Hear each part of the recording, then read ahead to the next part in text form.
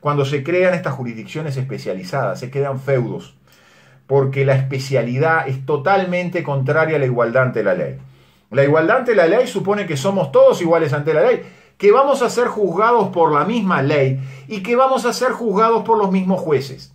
Ahora, cuando usted crea una jurisdicción especializada, que se creó con el amén de todo el espectro político, vayan anotando, partido único del nuevo orden mundial. Cuando se crean estas jurisdicciones especializadas, que los poderosos, los ricos, los corruptos, los altos, jerarcas son juzgados por determinados jueces y el resto de los mortales somos juzgados por otros jueces penales, eh, bueno, ahí empiezan a funcionar mal las cosas. Yo les soy sincero y lo he dicho más de una vez. Prefiero que el juez que mm, eh, investiga, que el juez que, eso en el proceso viejo, ya el juez no investiga, pero prefiero que la jurisdicción, que los fiscales y los jueces que tienen que investigar y tienen que juzgar sobre el robo de gallinas, sobre la rapiña, sobre el homicidio, sobre la violación, sea el mismo juez que tenga que investigar sobre los delitos de corrupción. ¿Por qué? Porque en muchos casos, en una gran mayoría de los casos, los delitos de corrupción son los que provocan los delitos de la marginalidad, los delitos de la calle. Los delitos financial crimes, como llaman los norteamericanos, son los que terminan provocando los street crimes, los crímenes de la calle. Y entonces que sea el mismo juez que mira con la misma vara, como dice Gustavo habitualmente refiriendo un caso de él, aquel que lo coimearon con tres chuletas de, aguja de segunda que aquel que lo coimearon con un movimiento de una cuenta del Banco de Panamá o, de, las Bahamas al Banco de Suiza. Que lo, el mismo juez mida las dos circunstancias porque entonces el juez va a pensar dos cosas. ¿Valdrá la pena meter preso al que le pagaron una coima con tres chuletas de aguja? frente a lo que hace el otro coimero, el poderoso, el jerarca, el gobernante y el empresario que le unta la mano? ¿O no será mejor mandar preso al de arriba, al que coimea por mucho más dinero, pero que además coimea a los altos jerarcas, que mandar a un pobre policía este, que lo único que hizo fue tener un plato de comida para ese día? Todo ese tipo de reflexiones no se pueden hacer en la medida que tenemos jueces especializados en crimen organizado, que se dedican a los crímenes de cuello blanco, pero que se olvidan que los crímenes de cuello blanco son los que provocan los crímenes de la marginalidad. Y como hay jueces que, que se especializan en los crímenes de la marginalidad, estos son muy duros. Y sin embargo, los que se especializan en los crímenes de las alturas, en los crímenes del poder, son muy blandos, tan blandos que no investigan. Y yo estoy convencido que todo el poder político, oficialismo y oposición, lo saben perfectamente. Mire, mire, no nos engañemos, en política no hay tontos, ¿eh? Y más cuando se trata de este tipo de cosas. Todos ellos saben que cuando se creó la Fiscalía General, se la creó para construir poder único, para construir poder político a la hora de decidir quién va preso y quién no va preso y en especial si el que puede ir preso, síndrome peirano mediante, ¿saben cuál es el síndrome peirano? Canal 12, creo, Canal 4, no me acuerdo, cuando nos mostró, lo hacen ya como 10 o 12 años, a los peiranos de traje naranja detrás del alambrado de la cárcel de libertad. Nadie quiere que le pase eso, nadie del poder quiere que le pase eso. Y para eso se construyó este poder único, este poder político a la hora de decidir quién va preso y quién no va preso. Pero, señores, los legisladores tienen que entender, incluido el exdiputado Mujica, pero todos los legisladores, incluido el senador Larrañaga que salió a hablar de independencia, o de Mieres que había hablado en determinado momento que no estaba de acuerdo, que le parecía un disparate eh, lo que había hecho Pacheco en el tema, este, ¿en cuál de los temas? En el tema de, León. Eh, este, pero después se arrepintió, dijo, no, no, yo respeto la independencia de los fiscales. Pero señores, lean la ley que ustedes mismos votaron, ustedes son conscientes, lean esa ley. Y esa ley, en determinado lugar, el artículo 13 de la 19483, la ley que crea la, nueva ley orgánica de la Fiscalía, dice, a la Fiscalía General de la Nación le corresponde. Vean ustedes que no dice a los señores fiscales, dice a la Fiscalía General. Cuando está diciendo eso, después nos dice, o nos dijo antes, mejor dicho, con la 1934, que la Fiscalía General tiene un solo fiscal general, un solo director. Con la voluntad de todos los partidos, ¿eh? y mire que ahí jugaba la voluntad de la oposición, porque se necesitaban dos tercios para que fuera un director único. Y los dos tercios estuvieron. Estuvo la unanimidad en la 19334 que creó la Fiscalía General. Pero la 19483 dice, en los cometidos de esta Fiscalía General, el primer cometido, letra A del artículo 13 de esa ley, fijar y diseñar, fijar, diseñar y ejecutar la política pública de la investigación y de la persecución penal de crímenes, delitos y faltas. Señores, esto que está diciendo Gonzalo Mujica, de que tenemos una agencia política que decide qué se investiga y qué no se investiga, qué se lleva al juez y qué no se lleva al juez, a quién se mete preso y a quién no se mete preso, está dicho en la ley. Está dicho en la ley 19.483. Se creó una agencia política del gobierno para decidir qué se investiga y qué no se investiga. Artículo 13, literal A de la ley 19.483 que invito a leer. Es decir, acumulación de poder estableciendo el mismo sistema del Procurador General norteamericano. Eh, contradicciones ideológicas que ya hemos reseñado muchas veces con Gustavo, ¿no? Estos izquierdistas haciéndole el, caldo, el caldo a, los, a los derechistas, ¿no? Este, en esas contradicciones que veremos luego son parte de la realidad de este partido eh, único del nuevo orden mundial. Pero también los legisladores de la oposición saben que le dieron ese poder a un solo individuo dependiente del gobierno de turno. Lo saben perfectamente. Y allí habría que preguntarse entonces, si saben, entonces, ¿por qué? ¿Por qué contribuyeron a esa acumulación de poder del gobierno de turno? ¿O es que el gobierno de turno se va a perpetuar por los tiempos de los tiempos y la oposición quiere que sea así? ¿O es que la oposición tiene trapitos sucios, tiene algunos muertos en el ropero y tiene miedo? Y entonces la existencia de un solo mandamás que determine quién va preso y quién no va preso sea importante. Y de esa manera algunos sí, Amaro, se les pedirá el procesamiento y a Camí no se le pedirá el procesamiento, entonces el senador Larrañaga dirá que hay independencia de los fiscales. ¿Cómo no va a decir si a Camí lo dejaron afuera en el tema ANCAP? Lunes 14 de mayo de 2018, un nuevo programa del Poder Real con el doctor Gustavo Salle y el doctor Enrique Viana. Vamos a escucharlos. Buen día amigos, les habla Enrique Viana, un placer estar con ustedes. Eh, como ustedes ya sabían, Gustavo en el día de hoy este, no va a estar, está en el exterior del país, si no tengo mal entendido en este momento en Londres. Así que bueno, vamos a hacer lo, que siempre digo que es imposible, que es tratar de eh, sustituirlo eh, con algunos comentarios. Vamos a tratar de dividir hoy la charla en dos, en dos grandes partes. En una de ellas mm, vamos a hablar de este tema tan manido de las víctimas, eh, de las víctimas de la delincuencia y cómo el nuevo código del proceso penal pretende tratarlas mejor. Eh, y veremos si eso es así o si no lo es. Eh, eso en la primera parte. En una segunda parte, muy probablemente la segunda media hora, estaremos hablando sobre lo que yo he denominado la falsa contradicción de las, de las medias verdades o de las verdades a medias.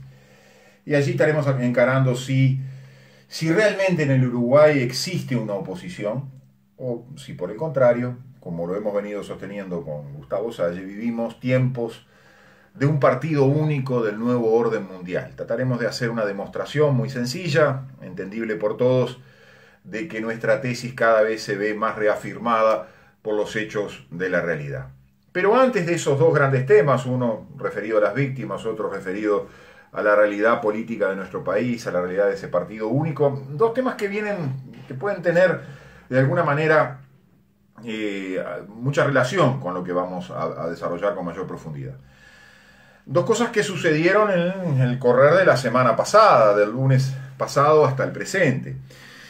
Eh, primer hecho significativo. Eh, Gonzalo Mujica, el, ex diputado Gonzalo Mujica, anteriormente en el Frente Amplio, luego renunció a la banca y actualmente, por lo que se ha, trascendido, se ha incorporado al sector de la calle Pou del Partido Nacional, afirmó que Jorge Díaz debería renunciar.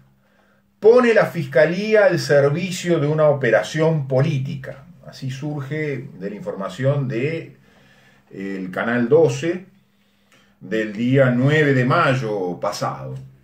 Esa información se reitera eh, por un par de días en el diario El País bajo el título de exdiputado Mujica acusa fiscales de hacer mandados. Eh, esto sale en el diario El País del día 10, si no recuerdo eh, mal. Bueno, lo que ha dicho el exdiputado Mujica es lo que hemos venido diciendo con Gustavo Salle desde hace muchísimo tiempo. En especial, Gustavo siempre lo reitera, eh, a partir de la ley 19.334 que creó ese llamado Servicio Descentralizado Fiscalía General, Fiscalía General de la Nación, así se ha denominado.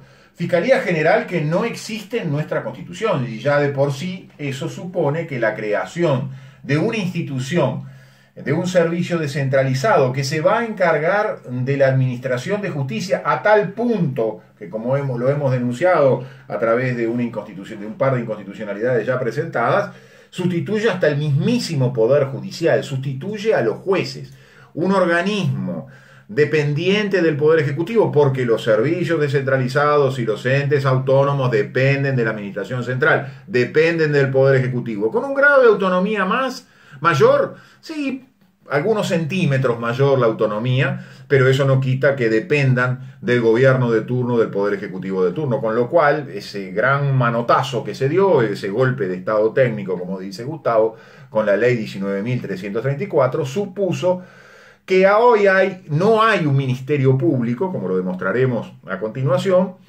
que no hay un fiscal de corte y fiscales letrados de la República, como dice el artículo 168 de la Constitución, sino que hay, por creación legal, contra lo que dice la Constitución, un organismo llamado Fiscalía General que depende del gobierno de turno con el disfraz eh, inconstitucional también este, de ser un servicio descentralizado. Pero estas manifestaciones del exdiputado Mujica, donde claramente eh, no dice nada de más ni nada de menos respecto de la realidad, donde a partir del archivo del expediente conocido como de aire fresco, donde se debió investigar las relaciones de esa empresa aire fresco vinculada a un sector político del MPP, el MLN, Tupamaros, en los negocios este, con Venezuela, en los negocios del Estado uruguayo, de las organizaciones donde interviene el Estado uruguayo en los negocios privados y públicos con Venezuela, con el gobierno de Venezuela, en una clara situación de agente con influencias políticas muy importantes a la hora de eh, intermediar entre los negocios privados y públicos o privados mm, amparados por los estados de Venezuela o por los gobiernos de Venezuela y, de Uruguay. Bueno, esa investigación no se hizo nada y se archivó sin investigar, o como dijo el diputado Mujica, solo interrogando a aquellos que estaban siendo investigados. Y todos sabemos que en una investigación penal hay que hacer un poquito más. Y yo insisto siempre con esta idea. Si tenemos fiscalías de crimen organizado, como sigue siéndolo el doctor Pacheco, fiscal de crimen organizado para los hechos anteriores al primero de noviembre. Si tenemos juzgados de crimen organizado, creo que a esta altura son cuatro juzgados de crimen organizado, si se creó esa jurisdicción especializada es para agotar la investigación en materia de crimen organizado, es decir, para agotar la investigación en los casos concretos de corrupción no es para pasarle por arriba ligeramente y decir, bueno, no hay nada, no investigo y no hay nada, ¿no? En aquel eh, mecanismo que nosotros habíamos definir, definido de archivos sin investigación, del modelo así, archivos sin investigación. Bueno, esto es lo que se provoca cuando se crean estas jurisdicciones especializadas, se quedan feudos, porque la especialidad es totalmente contraria a la igualdad ante la ley. La igualdad ante la ley supone que somos todos iguales ante la ley, que vamos a ser juzgados por la misma ley y que vamos a ser juzgados por los mismos jueces. Ahora, cuando usted crea una jurisdicción especializada, que se creó con el amén de todo el espectro político, vayan anotando, partido único del nuevo orden mundial. Cuando se crean estas jurisdicciones especializadas, que los poderosos, los ricos, los corruptos, los altos, los altos jerarcas son juzgados por determinados jueces y el resto de los mortales somos juzgados por otros jueces penales, eh, bueno, ahí empiezan a funcionar mal las cosas. Yo les soy sincero y lo he dicho más de una vez. Prefiero que el juez que mm, eh, investiga, que el juez que, eso en el proceso viejo, ya el juez no investiga, pero prefiero que la jurisdicción, que los fiscales y los jueces que tienen que investigar y tienen que juzgar sobre el robo de gallinas, sobre la rapiña, sobre el homicidio, sobre la violación, sea el mismo juez que tenga que investigar sobre los delitos de corrupción. ¿Por qué? Porque en muchos casos, en una gran mayoría de los casos, los delitos de corrupción son los que provocan los delitos de la marginalidad, los delitos de la calle. Los delitos financial crimes, como llaman los norteamericanos, son los que terminan provocando los street crimes, los crímenes de la calle. Y entonces que sea el mismo juez que mida con la misma vara, como dice Gustavo habitualmente refiriendo un caso de él, aquel que lo coimearon con tres chuletas de, aguja de segunda que aquel que lo coimearon con un movimiento de una cuenta del Banco de Panamá o, de, las Bahamas al Banco de Suiza. Que lo, el mismo juez mida las dos circunstancias porque entonces el juez va a pensar dos cosas. ¿Valdrá la pena meter preso al que le pagaron una coima con tres chuletas de aguja? frente a lo que hace el otro coimero, el poderoso, el jerarca, el gobernante y el empresario que le unta la mano? ¿O no será mejor mandar preso al de arriba, al que coimea por mucho más dinero, pero que además coimea a los altos jerarcas, que mandar a un pobre policía este, que lo único que hizo fue tener un plato de comida para ese día? Todo ese tipo de reflexiones no se pueden hacer en la medida que tenemos jueces especializados en crimen organizado, que se dedican a los crímenes de cuello blanco, pero que se olvidan que los crímenes de cuello blanco son los que provocan los crímenes de la marginalidad. Y como hay jueces que, que se especializan en los crímenes de la marginalidad, estos son muy duros. Y sin embargo, los que se especializan en los crímenes de las alturas, en los crímenes del poder, son muy blandos, tan blandos que no investigan que no agotan la investigación para el cual fueron creadas. Fíjense ustedes la paradoja. Paradoja que era, es conocida en el mundo desde los tiempos de Montesquieu. Cuando Montesquieu o José Yauri en el prólogo de la Constitución de 1830 habla de que los magistrados únicos son propios de la tiranía. ¿Qué quiere decir con esto? No magistrados únicos. Quiero 10, 15, 20 jueces, 30, 40, 50, 100. Pero que todos ellos juzguen a todos los hechos los financial crimes, los crímenes de la corrupción y los crímenes de las calles, los street crimes, que los juzguen a todos, porque allí voy a tener, en alguna medida, en alguno de esos 100 jueces que voy a tener, voy a tener un grado de justicia, porque el individuo va a saber que la decisión que tome hoy respecto de un crimen de la calle va a ser la misma y con más severidad cuando tome y adopte e investigue un crimen de las alturas del poder. Entonces, nada nuevo se nos está diciendo cuando se crea esta, eh, eh, este, este, mecanismo del, nuevo código que supone crear una agencia política, como este, lo afirmó el diputado Mujica cuando dijo inclusive que el doctor Pacheco es un empleado del doctor Díaz, del fiscal general. O sea, ratificó la tesis que hemos venido sosteniendo durante tanto tiempo de la existencia de un fiscal general, un fiscal único, un mandamás, y luego bajo su dirección, subalternos de él, un conjunto de fiscales delegados o de fiscales soldaditos, que yo sé que le molesta bastante, pero si hay un general, hay este, eh, soldaditos. Salió la Asociación de Fiscales a decir, no, hay independencia, hay independencia. Señores, no hay independencia. A partir de que los fiscales, por la segunda ley de la Fiscalía, la 19483, pasó a recibir instrucciones, se acabaron los fiscales letrados de la República, se acabaron los fiscales independientes. Hoy obedecen, reciben directivas e instrucciones y si no cumplen esas directivas e instrucciones son sancionados, inclusive enviándolos al último rincón del país de ser el caso, cuando no destituyéndolos. Bien, pero esto muy bien dijo el ex diputado Mujica, no asombra o no debería asombrar. Y yo estoy convencido que todo el poder político, oficialismo y oposición, lo saben perfectamente. Mire, mire, no nos engañemos, en política no hay tontos, ¿eh? Y más cuando se trata de este tipo de cosas. Todos ellos saben que cuando se creó la Fiscalía General, se la creó para construir poder único, para construir poder político a la hora de decidir quién va preso y quién no va preso. y en especial si el que puede ir preso, síndrome peirano mediante, ¿saben cuál es el síndrome peirano? Canal 12, creo, Canal 4, no me acuerdo, cuando nos mostró, lo hacen ya como 10 o 12 años, a los peiranos de traje naranja detrás del alambrado de la cárcel de libertad. Nadie quiere que le pase eso, nadie del poder quiere que le pase eso. Y para eso se construyó este poder único, este poder político a la hora de decidir quién va preso y quién no va preso. Pero, señores, los legisladores tienen que entender, incluido el exdiputado Mujica, pero todos los legisladores, incluido el senador Larrañaga que salió a hablar de independencia, o de Mieres que había hablado en determinado momento que no estaba de acuerdo, que le parecía un disparate eh, lo que había hecho Pacheco en el tema, este, en cuál de los temas, en el tema de, León. Eh, este, pero después se arrepintió, dijo, no, no, yo respeto la independencia de los fiscales. Pero señores, eh, lean la ley que ustedes mismos votaron, ustedes son conscientes, lean esa ley. Y esa ley en determinado lugar, el artículo 13 de la 19483, la ley que crea la, nueva ley orgánica de la Fiscalía, dice, a la Fiscalía General de la Nación le corresponde. Vean ustedes que no dice a los señores fiscales, dice a la Fiscalía General. Cuando está diciendo eso, después nos dice, o nos dijo antes, mejor dicho, con la 1934, que la Fiscalía General tiene un solo fiscal general, un solo director. Con la voluntad de todos los partidos, ¿eh? y mire que ahí jugaba la voluntad de la oposición, porque se necesitaban dos tercios para que fuera un director único.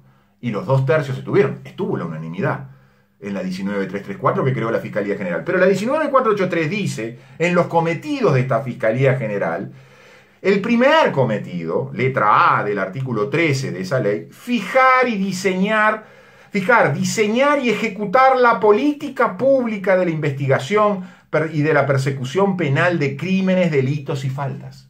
Señores, esto que está diciendo Gonzalo Mujica, de que tenemos una agencia política que decide qué se investiga y qué no se investiga, qué se lleva al juez y qué no se lleva al juez, a quién se mete preso y a quién no se mete preso, está dicho en la ley.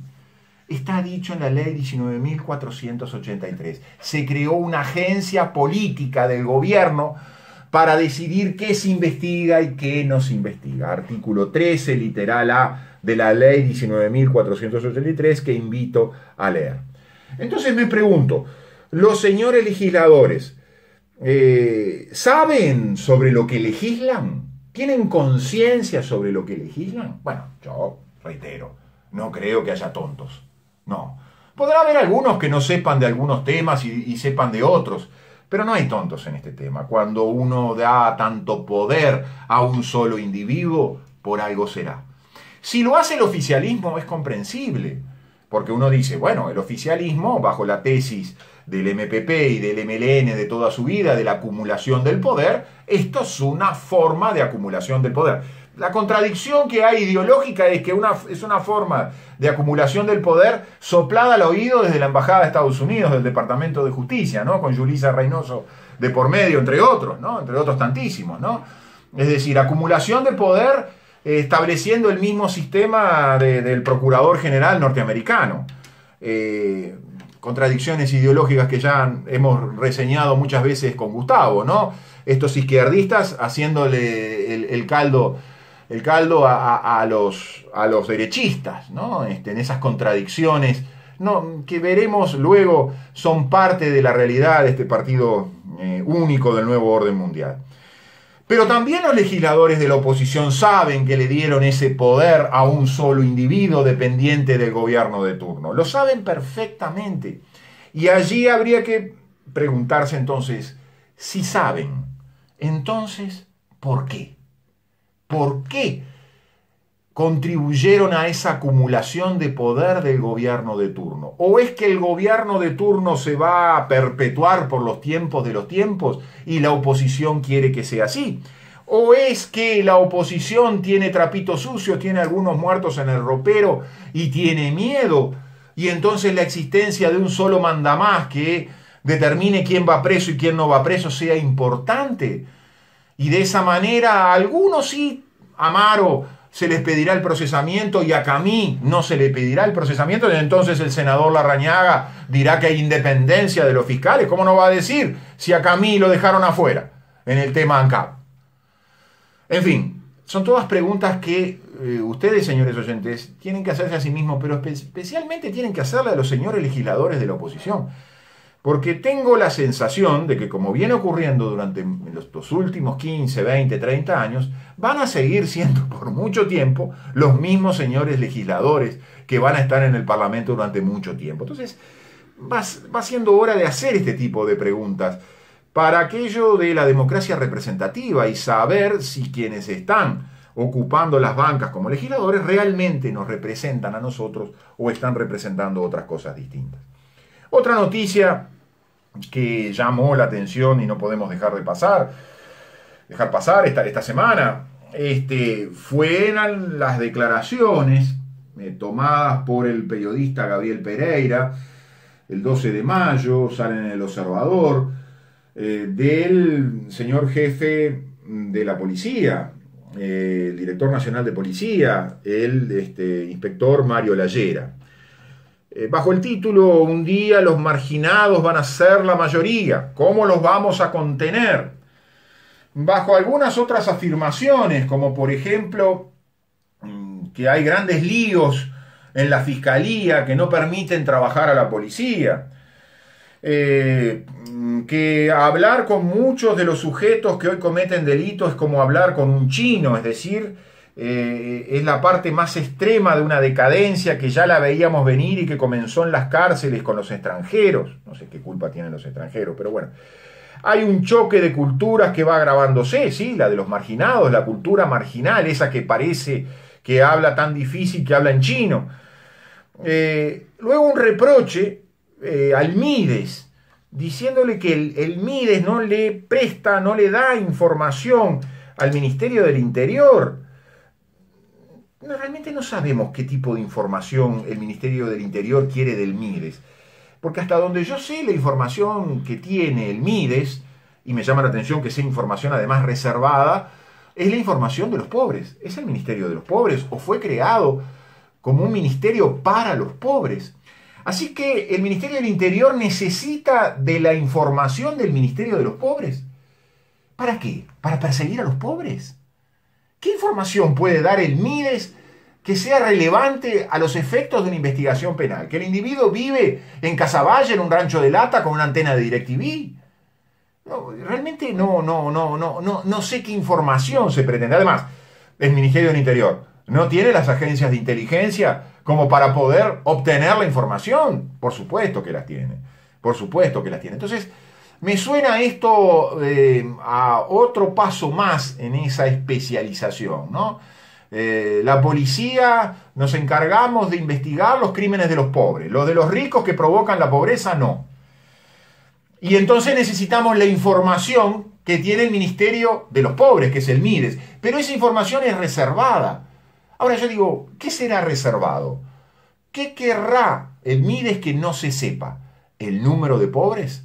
El número real de pobres, el número real de marginados, y por eso es reservada. No vamos a bajar la criminalidad, no vamos a bajar la inseguridad sabiendo la información del MIDES. Que se quede tranquilo el Ministerio del Interior con su director nacional de policía y con este, su ministro. Después otra afirmación que dice que, bueno, que mm, hay técnicas que pueden sustituirlo por otras vías, pero el modelo de intervención telefónica caducó caducó con la publicidad del guardián y caducó absolutamente con el WhatsApp. yo digo, un policía profesional, como me consta que es el señor Lallera, en un cargo político ahora, ¿eh? Ojo que es un cargo político. El de él es un cargo de designación política, un cargo de confianza política. Con lo cual uno puede decir, bueno, hace estas declaraciones y qué quiere decir esto. Pero yendo al grano, me llama la atención que diga que la delincuencia tomó conocimiento de determinadas formas de persecución y se adaptó y eludió esas formas de persecución. Eso pasa desde que el mundo es mundo, desde que existe delincuencia. Los delincuentes no son tontos. Los delincuentes saben cómo eludir las formas de control. Los que no sabemos y no podemos eludir la forma de control somos el resto de los mortales. Y entonces el guardián no es para perseguir delincuentes. Ningún delincuente en una llamada telefónica, aún por WhatsApp, va a estar diciendo, mira que voy a cometer una rapiña en el supermercado tal. No, no seamos tontos. Y menos pueden ser tontos nuestros gobernantes actuales. O los tupamaros se mandaban eh, cartitas por los diarios cuando iban a cometer un delito. No, por favor. Todos sabemos que existen millones de formas de comunicación que eluden los controles de todo tipo. No, el WhatsApp, al igual que la bancarización obligatoria, son mecanismos para controlar a los honestos. Son mecanismos para dominar la voluntad de los honestos. Son mecanismos para esclavizar, como ya hemos dicho más de una vez.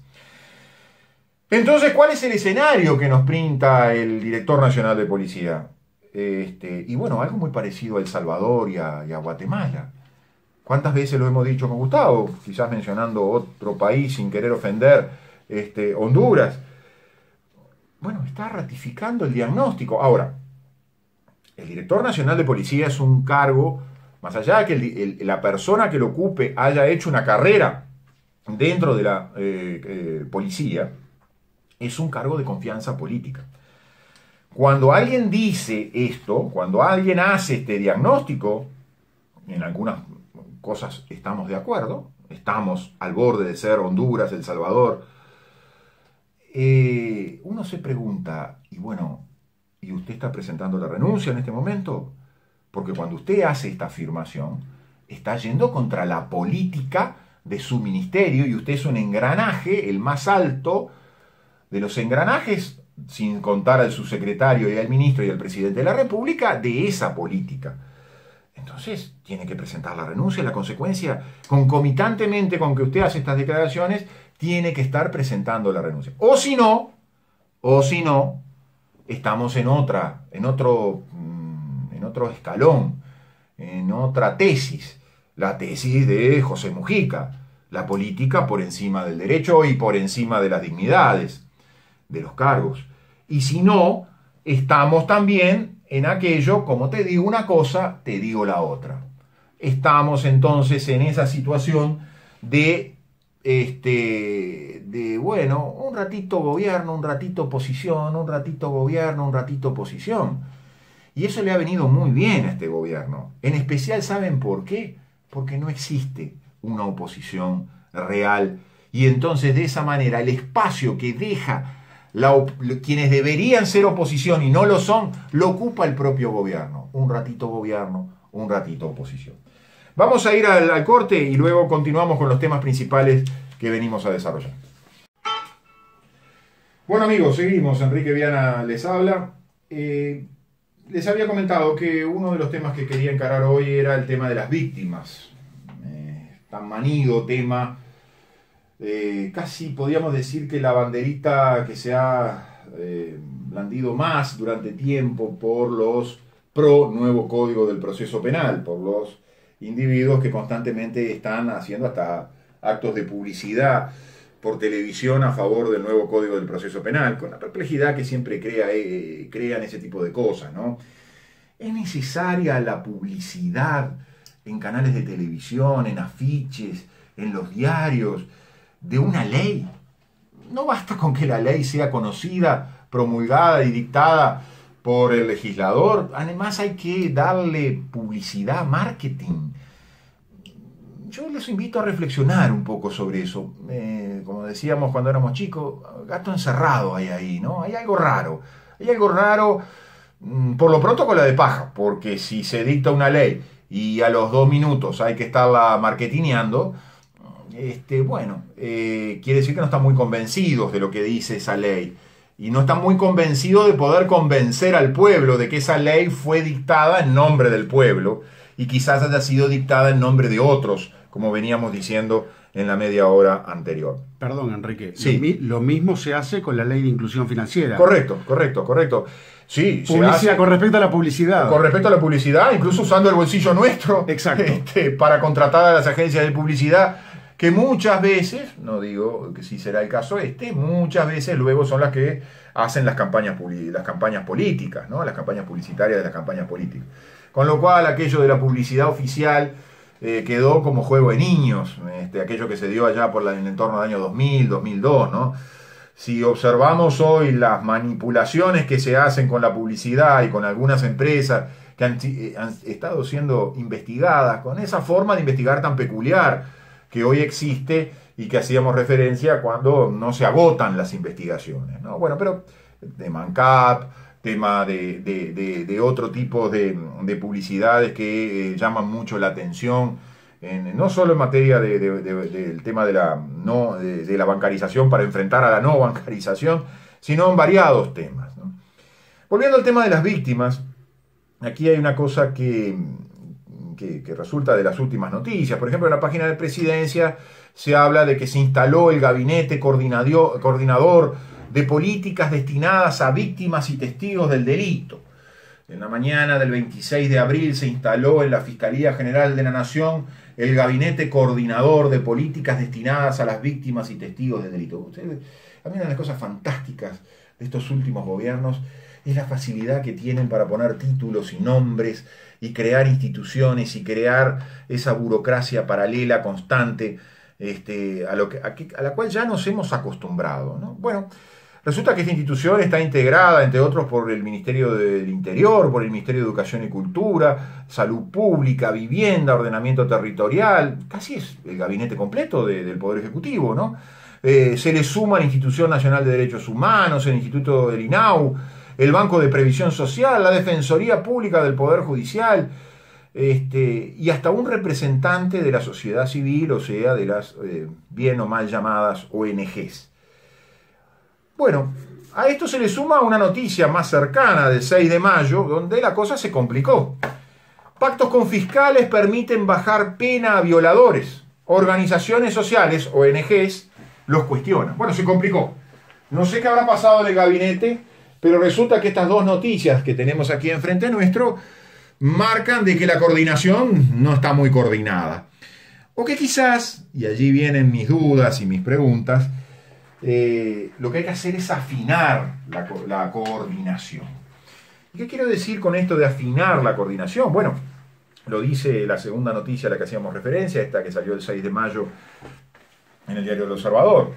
La asesora legal de ANON, la Asociación de Organizaciones No Gubernamentales, este, fíjense ustedes cómo hoy se arregla todo con asociaciones, con gabinetes, con eh, esas sociedades y esas cooperativas y esas coordinaciones que uno no termina de entender eh, qué propósito tienen, si es un propósito lícito y sobre todo eh, si no nos remontan a los corporativismos del pasado, a los colectivismos del pasado, a los koljós, este, para algún nostálgico todavía que pueda quedar, o a los kibbutz, para algún otro nostálgico que también pueda quedar por allí. La asesora legal de Anon, la abogada Alicia Deus, dijo al observador que el objetivo actual es discutir el problema en el Consejo Honorario, otro lindo nombre, Consejo Honorario de Instrucciones Generales. Eh, un organismo, un consejo que depende del fiscal de corte, creado por esa ley a la que hacíamos referencia en la media hora anterior, la 19483.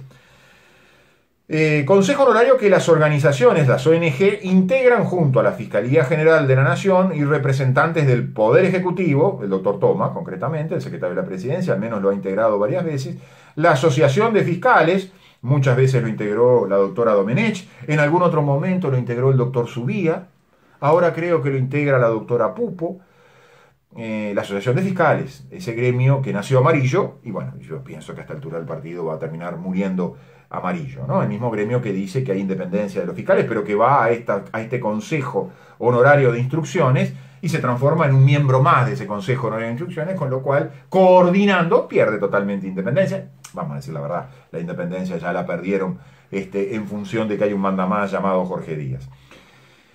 En ese ámbito, ah, la, Facultad de Derecho, la Academia, los profesorones, como dice, le gusta decir a Gustavo, también integran ese consejo. En ese ámbito se debate y elaboran las instrucciones generales que guían la actuación de los fiscales, que ya dejaron de ser independientes porque tienen instrucciones generales, que les dicen que las organizan la Asociación de Fiscales, el fiscal de corte, las ONG, el Poder Ejecutivo, el Poder Ejecutivo y los profesorones. Y yo digo, ¿y no era aquello que los fiscales deberían obedecer únicamente a la Constitución y a la ley?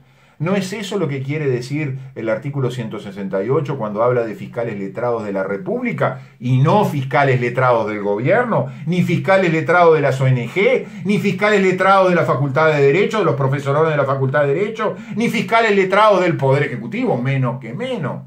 No, fiscales letrados de la República. Vean ustedes cómo se tergiversa lo establecido en la Constitución mediante estos mecanismos de coordinación, mecanismos colectivistas, mecanismos del viejo irreprochable corporativismo fascista. En estos documentos, en esas instrucciones, se determinan los delitos para uniformizar los criterios, los criterios para perseguir los delitos. En esos documentos se determinan qué delitos deben priorizarse cuando se aplica el principio de oportunidad, o sea, de discrecionalidad total ante aquellos casos que los fiscales, en razón de su imposibilidad de atender todos los crímenes e infracciones que ingresan a la fiscalía, concentran los recursos en las persecuciones penales de los delitos de mayor relevancia. ¿Qué quiere decir todo esto? Atosigamos a los fiscales, me, encontré con, me he encontrado con varios de ellos, ninguno baja de 800 asuntos en bandeja. ¿Qué quiere decir 800 asuntos en bandeja electrónica todavía para colmo? Que tienen 800 asuntos. Hoy, todos los fiscales, cada uno de los fiscales titulares, tiene 800 asuntos que no los ha podido estudiar, que no ha podido iniciar siquiera una investigación sobre esos 800 asuntos. Mañana serán 900, traspasado los bajará con un esfuerzo enorme a 600, pero le seguirá acumulando y muy probablemente dentro de un par de meses sean 1200 o 1300 asuntos. Eh, entiendan ustedes, entonces, ¿cuál es la solución? Ah, la priorización. ¿Y quién va a decir qué, se prioriza y qué no se prioriza? ¿Qué se investiga y qué no se investiga? ¿Las ONGs? ¿Los profesorones de la facultad? ¿O en todo caso decidirá el Poder Ejecutivo y el Fiscal General qué se investiga y qué no se investiga? Observen cómo todo apunta, incluidos los pactos, porque las instrucciones estas tienen que referir a los pactos, tienen que referir a los mecanismos de acuerdo, a la discrecionalidad absoluta de qué se persigue y qué no se persigue. Estas ONG están molestas porque los delitos de violación se están aplicando pena por debajo de los dos años. Pero caramba, ¿era necesario una coordinación en el Consejo Honorario de Instrucciones Generales o en el gabinete este coordinador de políticas destinadas a las víctimas? ¿Era necesario esa coordinación? ¿O, o antes que eso era mucho más importante ver lo que dice el artículo 27 de la Constitución. ¿Qué dice el artículo 27 de la Constitución, señores? En cualquier estado una causa criminal de que no haya de resultar pena de penitenciaría, los jueces podrán poner al acusado en libertad dando fianza según la ley. ¿Qué quiere decir este artículo? Que cuando hay pena de penitenciaría, los delitos sexuales, violación, atentado violento al pudor, tienen pena de penitenciaría dos años establecidas en el Código Penal son las penas de penitenciaría de dos años hacia arriba, allí no es posible la libertad. Y cuando el Código Penal establece una pena de penitenciaría, no es posible rebajar esa pena como ocurre con los pactos. Pero ¿qué es lo que pasó? El nuevo código surgió para que eso fuera posible, para que fuera posible, no mediante una autorización legal directa, sino mediante una autorización legal indirecta, rebajar la pena de los delitos graves. Y por eso tenemos lo que se ofende las, las ONG en cuanto a que hay violadores que van a salir a los 12 meses, a los 15 meses, sin haber cumplido con el artículo 27 de la Constitución. No se menciona el artículo 27 de la Constitución en esos gabinetes o en esos consejos honorarios. ¿Por qué? ¿Por qué no se menciona? Porque este tema de las víctimas tiene en realidad un propósito muy claro que es la privatización del derecho penal. En el derecho penal clásico, en el derecho procesal penal clásico, existe un ministerio público, existen fiscales letrados de la República. ¿Qué quiere decir? Que no representan a la víctima tal o cual. Ni siquiera representan al pueblo, como muchas veces se ha malinterpretado, o como la propia ley en el pasado también lo dijo, en un camino errado, que representan a la sociedad, o los intereses generales de la sociedad. No. Los fiscales en un derecho penal público, en un derecho penal bien establecido, a quienes representan es a las normas establecidas. Son procuradores del cumplimiento de las normas de orden público, llamadas Constitución de la República cuando están en la Constitución de la República, o llamadas Código Penal cuando están en la ley, o Código del Proceso Penal cuando están establecidas en una ley procesal penal que se adecue a esa regla. Orden público y fiscales van de la mano. Los fiscales representan el orden público. ¿Y saben ustedes qué peculiaridad tiene la existencia del orden público? Que hasta por la propia el uso de las palabras ustedes comprenderán, de ahí deriva el concepto de ministerio público, que es lo que ejercen los fiscales. ¿Qué peculiaridad tiene el orden público? ¿Y qué peculiaridad, por consecuencia, tiene el ejercicio del ministerio público? No es negociable, no es transable, no es pactable. Entonces, todas estas conductas impuestas por el nuevo código del proceso penal, ¿qué es lo que buscan? Que el ministerio público deje de ser ministerio público que los fiscales no ejerzan como fiscales letrados de la República, que los fiscales no ejerzan ministerio público, que los fiscales no hagan cumplir el orden público. ¿Y qué es lo que van a hacer cumplir ahora los fiscales? En realidad lo que van a hacer cumplir son pactos, son acuerdos. Van a pactar lo que no es pactable, van a negociar lo que no es negociable.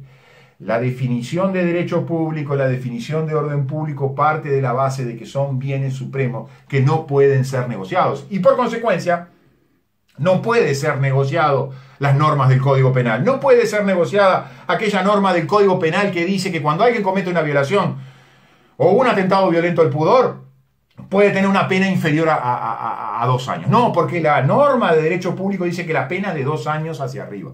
Pero ahora la norma procesal la mera norma instrumental se metió en la norma sustantiva y de esa manera con el pacto sustituyó a la ley y sustituyó a la constitución. Sustituyó el orden público por una negociación de bazar, una negociación de feria, donde ya no importan las normas de derecho público, ya no importa, prendámosle fuego al Código Penal porque se lo prendió fuego previamente el nuevo Código del Proceso Penal. Resolver conflictos, se nos dice. Esto es para resolver conflictos. Pactamos para resolver conflictos. No, señor. En el derecho público, en el derecho constitucional, en el derecho administrativo, pero por sobre todo en el derecho penal, no se resuelven conflictos. O mejor dicho, el conflicto que se resuelve es entre la ley, el código penal y una persona que infringió, que actuó contra lo que dice el código penal. Entonces, no hay lugar a los pactos. Hay lugar a que usted aplique la pena establecida en el Código Penal entre la mínima y la máxima, tomando en cuenta agravantes y atenuantes. Nada más. No entra a jugar la voluntad del delincuente para negociar o pactar, entre otras cosas porque el delincuente está privado de la libertad, generalmente cuando se lo está investigando por un delito de eso. Pero tampoco ingresa la voluntad de la víctima, y aquí está el kit del asunto metiendo a la víctima en el proceso penal, lo que se quiso es ir a una forma de privatización, de mercantilización.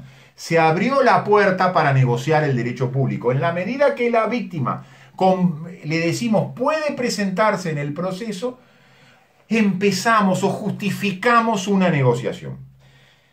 Y de esa manera borramos el Código Penal y borramos la severidad de ese artículo 27 que nos dice que cuando se establecen penas de penitenciaría no puede haber libertad del individuo hasta tanto cumpla toda la pena.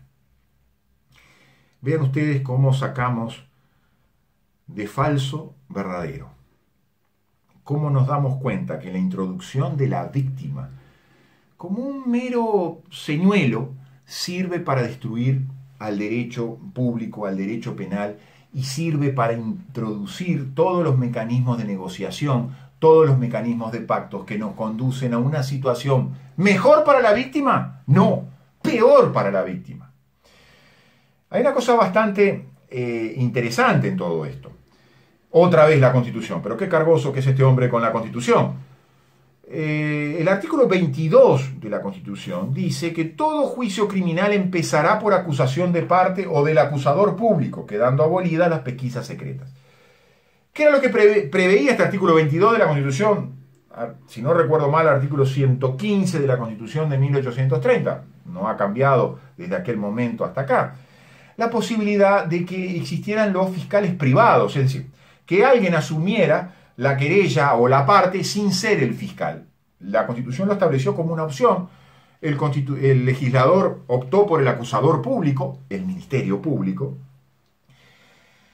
pero le dejó, abierta la posibilidad de que el legislador introdujera a eh, la víctima, al ofendido, al denunciante como parte en el proceso. Ya ocurría, ahora eso quedó también derogado con las leyes que referían a eh, los delitos eh, de ofensas eh, emitidos a través de la prensa, donde allí en determinado momento, si el fiscal, el acusador público, no acusaba, se le permitía a la parte ofendida, al denunciante, este, retomar la acusación y provocar el proceso penal, el juicio criminal.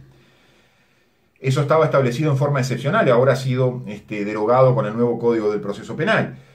Pero lo que quiero decir es lo siguiente, si le queríamos dar realmente poder a las víctimas, le debimos dar el poder de convertirse en una parte en el proceso penal.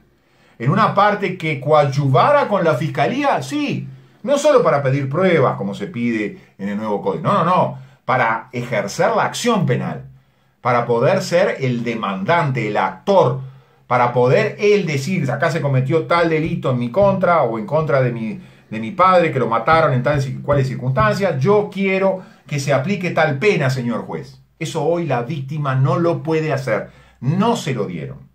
Por eso yo insisto que la introducción del concepto de víctima como un participante, se dice en algún, en algún lado, es una de esas tantas verdades a medias que terminan siendo falsedades. ¿Qué es lo que se quiso con la introducción de la víctima? Privatizar el derecho penal, pero no darle no darle verdaderos derechos de parte, que era lo que correspondía y que la Constitución estaba de acuerdo con eso. No se les quiso dar eso. Se quiso mantener el monopolio en manos de un fiscal general. Y entonces allí vemos otra serie de contradicciones. Se superponen roles. ¿Cómo que se superponen roles? Sí, porque por un lado el nuevo código y, las leyes de fiscalía dicen que el fiscal debe proteger a la víctima, pero al mismo tiempo se le da a la víctima un defensor. Y entonces uno se pregunta, ¿y cuántos defensores va a tener la víctima? No nos pasemos para el otro lado. ¿Qué debemos entender por víctima? Quizás debimos haber empezado por esto. Bueno, el propio código no es muy claro qué entiende por víctima. En algún lado habla de ofendido por el delito. Bueno, ofendido por el delito, ¿qué quiere decir? Quiere decir damnificado, quiere decir eh, lesionado, quiere decir violado, quiere decir deudos del, individuo que fue este, muerto por un homicidio. Eh, si damos un concepto amplio al concepto de víctima, bueno, bienvenido. Lamentablemente no le dimos la potestad de ser parte, porque allí hubiera sido muy interesante verlo al doctor Gustavo Salle, eh, porque me imagino que ofendidos por los delitos cometidos en ANCAP, somos todos. Y entonces, como somos todos, somos cada uno de nosotros. Y como somos cada uno de nosotros, si el doctor Salle tomó la bandera para, para denunciar ese tipo de delitos o los similares que pueda estar denunciando mañana o pasado, que se lo deje participar del proceso. Tengo el temor que no se lo va a dejar participar del proceso porque se va a ir un concepto de víctima mucho más restringido, este por el cual formamos gabinetes y formamos consejos de instrucciones generales. Pero lo más importante que quiero dejar en claro en, respecto de este tema, aquí lo que se destruye es la ley. En la medida que introducimos a las víctimas como un señuelo para ir a los mecanismos de pacto y de acuerdo, para resolver el conflicto entre la víctima y el victimario, en la medida que eso supone mercantilización del derecho, regateo de bazar, en la medida que esa avenida nos aleja de la ley, estamos destruyendo la ley. Y estamos destruyendo la ley, miren ustedes la paradoja, con el beneplácito del legislador, porque el nuevo Código del Proceso Penal es un conjunto de leyes votadas por unanimidad. Es decir, legisladores del oficialismo, por supuesto, pero legisladores de la oposición, blancos, colorados e independientes, estuvieron de acuerdo en que el pacto mandara más que la constitución y que la ley, porque eso es lo que provoca estos mecanismos eh, con señuelo víctima, pero que se traducen en justificación de los pactos y justificación de la discrecionalidad. Y como decíamos en la media hora anterior, esta justificación de la discrecionalidad no solo está pensada, o mejor dicho, no está pensada para los delitos de violación, y por eso va a haber instrucciones generales que van a decir que no se puede pactar. No la ley, la ley dice que se puede pactar, sino que está pensada para los delitos de las alturas para el famoso síndrome, para curar rápidamente el síndrome peirano, para que los poderosos y los ricos, los ricos puedan pactar impunidades. Como sabemos, tenemos información con el doctor Gustavo Salle que ya se vienen pactando impunidades. No sé si se harán en documentos y esos documentos dónde estarán guardados, en qué caja fuerte, si del juzgado, de la fiscalía, quién tendrá la llave de esa caja fuerte, si se podrá abrir todos los días para sacarlo aquellos documentos que no son muy convenientes y que pueden dejar muy mal parado este, a más de un magistrado. Y cuando digo a más de un magistrado, digo a más de un fiscal y algún juez. Hay pactos de impunidad en el Uruguay. Hay pactos por los cuales individuos entregaron información para no ir presos y mandar presos a otros. Eso antes se llamaba delación, yo no sé ahora cómo lo llamarán, colaboración lo llaman ahora posiblemente. Y antes era muy reprochado, ¿eh? sobre todo por la izquierda, y yo estaba de acuerdo con la izquierda. No hay nada más indigno que la delación, porque es la traición. Es la traición hasta, la, hasta de la propia dignidad del que ha cometido delito cuando, eh, eh, este, para salvar, iba a decir una mala palabra, y Federico no me lo permite, para salvar su, su, reputación, este, entierra a otro este, ensuciándolo, incluso más de lo que a veces este, corresponde. El segundo tema del que, de que vamos a hablar, que nos va a quedar muy corto el tiempo, es el referido a las contradicciones, a la falsa contradicción de las medias verdades. ¿no? Cuando usted observa en el espectro político, y cuando digo el espectro político, insisto, oficialismo y, y llamada oposición, blancos, colorados, independientes cuando uno observa que están de acuerdo con UPM. Todos de acuerdo con UPM. Vidalín sale el otro día a decir que no, que es falso, que, UPM va, a utilizar el agua del acuífero. Y yo digo, pero, pero dígame, Vidalín, ¿eso usted cómo lo sabe? ¿O está haciendo publicidad, o es agencia de publicidad de UPM? ¿O del gobierno? Y entonces yo digo, pero Vidalín es intendente blanco o del Frente Amplio? Me empiezan las dudas. Bueno, no lo sé. Eh, cuando veo funcionarios públicos defendiendo empresas privadas, cuando veo funcionarios públicos muy preocupados por los negocios, por negociados y negocios privados, me, preocupa mucho. Yo sé que está derogado de facto este, con los contratos de inversión y con las PPP se derogó aquel delito de la conjunción del interés público y privado, pero me preocupa igual. Me preocupa ver funcionarios públicos defendiendo intereses privados. Es sospechoso al menos sospechoso. Bueno, UPM estamos todos de acuerdo. Bancarización, estamos todos de acuerdo. Yo todavía sigo sin ver, salvo, ya, corregime por el apellido difícil, ya Filiola. Este, sigo sin ver, me, han dicho otros periodistas, no, que, que, la calle Pou está eh, movilizando. Yo no los veo a los clubes blancos, no sé si existen a esta altura del partido, pero no los veo juntando firmas de esta, de esta opción que nosotros hemos empujado acá con Nicolás y con Gustavo Salle y con Martín Terra y tantos otros, este, con el doctor Bordoli, este, con una cantidad de gente que hemos empujado todo esto, pero no, no, no me importa si es esta opción o la otra, pero no, realmente no veo al Partido Nacional juntando firmas, ¿no? Entonces, como se votó la ley de bancarización, como se hiciera alguna laraca que no estoy de acuerdo con este artículo o con el otro, pero como que nadie presenta un mísero, una mísera ley, proyecto de ley con un artículo y digo, derógase la ley de bancarización, yo creo que sigo insistiendo, están a favor de la bancarización. De las sociedades anónimas del Estado, de las PPP, ni que hablar, votaron todas las leyes, incluso antes, cuando eran los blancos y los colorados este gobierno. Del nuevo Código del Proceso Penal ya hablamos en demasía. Entonces me, preocupa. Veo a mucho blanco trabajando para el Frente Amplio. Veo a mucho colorado trabajando dentro del Frente Amplio. Y el otro día leía un editorial, lo vamos a dejar para comentar el lunes, el lunes que viene, de Ignacio de Posadas, donde trataba de tener un contrapunto con Cofe y decía si Cofe sigue imbuida en el marxismo-leninismo y sigue hablando de la clase dominante, ¿cuál es la clase dominante en el Uruguay? No hay clase dominante. Bueno, eh, Ignacio de Posadas debería saber que hay una clase dominante, él la representa a través del estudio.